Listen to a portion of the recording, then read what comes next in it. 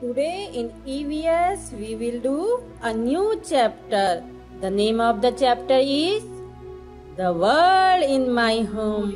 सारी दुनिया मेरे ही घर में we are going to talk about some situation that we face in our daily life आज हम कुछ ऐसी घटनाओं के बारे में बात करेंगे जो हमारे दैनिक जीवन में कभी न कभी होती है। So let's start our topic our first topic is tug of war tug of war मतलब खींचा तानी। Marita's family always quarrel over watching television Marita की फैमिली हमेशा की तरह टीवी देखने के लिए आपस में झगड़ रहे हैं। Her brother likes to watch cricket उसके भाई को क्रिकेट मैच देखना पसंद है। सुजैन वाचेस सॉन्ग सुजैन को गाना सुनना पसंद है। Mummy likes to watch news mummy को न्यूज़ देखना पसंद है। वाइल आंटी वाचेस सीरियल और आंटी को अपना फेवरेट टीवी प्रोग्राम पसंद है। Marita like to watch cartoon and dad likes football matches Marita को कार्टून देखना पसंद है, जबकि पापा को फुटबॉल मैचेस पसंद है। Daddy say that he can watch TV only in the evening finally everyone had to watch football match पापा कहते हैं, वो केवल शाम को ही टीवी देख सकते हैं। तो अंततः प्रत्येक को फुटबॉल मैच ही देखना पड़ता है।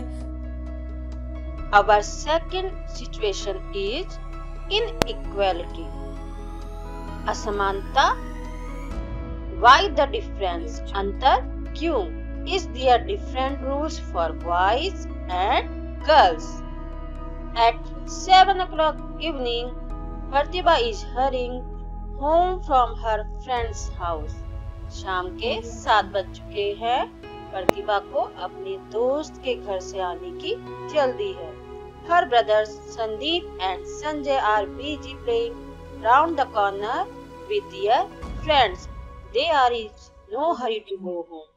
उसके भाई संदीप और संजय अपने दोस्तों के साथ खेलने में व्यस्त हैं।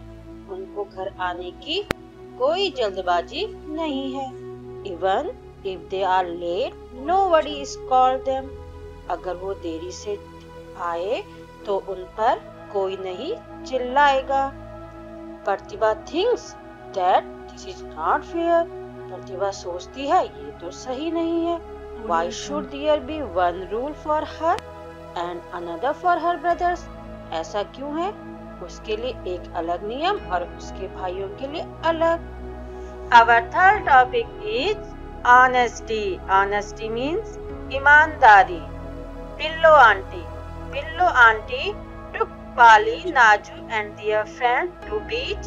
They played on the beach, went for a ride on the giant wheel. Pillo aunty Pali Naju और उसको दोस्तों को बीच पे लेके गई बीच का मतलब होता है समुद्र के किनारे वहाँ पे उन्होंने खेला और एक बड़े से चरखी पे उन्होंने सवारी की they ate bhelpuri enjoy icy cold kulfi उन्होंने वहाँ भेलपुरी खाई और ठंडी ठंडी आइसक्रीम को एंजॉय किया।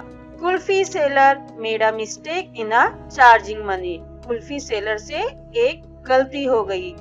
He took money only for five kulfi instead of seven उसने सात कुल्फी के बजाय बस पाँच ही कुल्फी के पैसे लिए।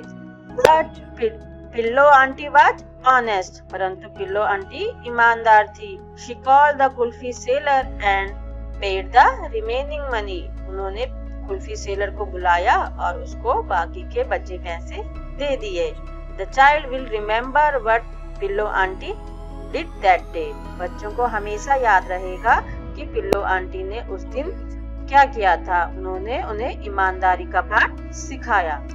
So the main motive of this chapter is to encourage children to think about these issues and express what they feel.